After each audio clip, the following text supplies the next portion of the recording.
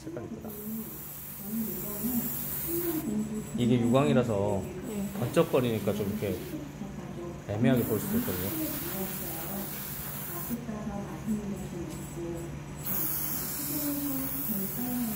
참요. 얘는 사이사이가 많으니까 천천히 뿌리셔야 한다, 이거. 이 머리카락은 어쩔 수 없어요.